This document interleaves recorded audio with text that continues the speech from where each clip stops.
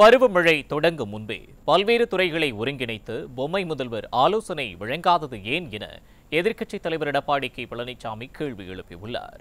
முன்னாள் அமைச்சரும் அதிமுக துணை பொதுச் செயலாளருமான கே. பி. முனுசாமியின் தந்தை பூங்காவனம் மறைவை அடுத்து அவரது உருவப்படத்திற்கு மலர் தூவி மரியாதை செலுத்திய பிறகு கழக பொதுச் செயலாளர் எடப்பாடி கே. பழனிசாமி செய்தியாளர்களை சந்தித்தார்.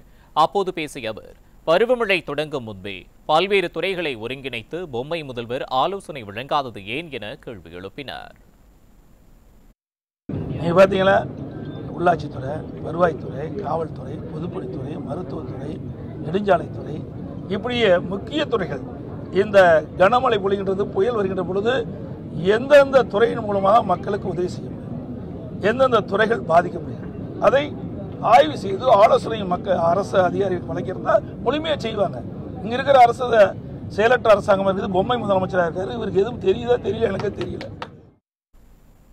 தொடர்ந்து பேசிய எதிர்க்கட்சித் தலைவர் எடப்பாடி கே. பழனிசாமி இந்தியாவிலேயே ஊழலுக்காக கிளைக்கப்பட்ட கட்சி திமுக தான் எனவும் ஆட்சி பொறுப்பேற்ற இரண்டரை ஆண்டு காலத்தில் ஊழல் செய்ததே திமுகவின் சாதனை எனவும் விமர்சித்தார். திராவிட முன்னேற்ற கழகம் என்று சொன்னாலே ஊழல் கட்சி. ஊழலுக்காக கலைக்கப்பட்ட ஒரு அரசாங்கம் என்று சொன்னால் அது இந்தியாவிலேயே திராவிட முன்னேற்ற கழக அரசு தான் ஊழலுக்காக கலைக்கப்பட்ட அரசு.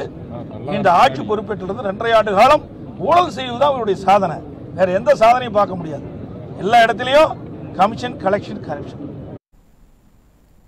இந்தியா கூட்டணியே குழப்பத்தில்தான் உள்ளதாகவும் அடுத்த கூட்டம் வரை கூட்டணி நீடிக்குமா என்பதே சந்தேகம்தான் எனவும் எதிர்க்கட்சித் தலைவர் எடப்பாடி கே. பழனிசாமி தெரிவித்தார்.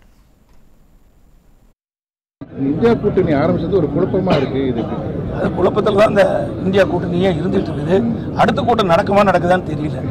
ஏன்னா ஒருத்தர் ஹிந்தியிலாம் பேசணுங்கிறாரு. இப்போ ஆரம்பம் ஆயிட்டுருது அப்படியே புகைய ஆரம்பிச்சிட்டுது. அது நெருப்பாக எப்போ வரும்னு தெரியல. ஆகவே அந்த கூட்டணி அடுத்த கூட்டம் வரைக்கும் இருக்குமா இருக்காதா என்று தெரியல.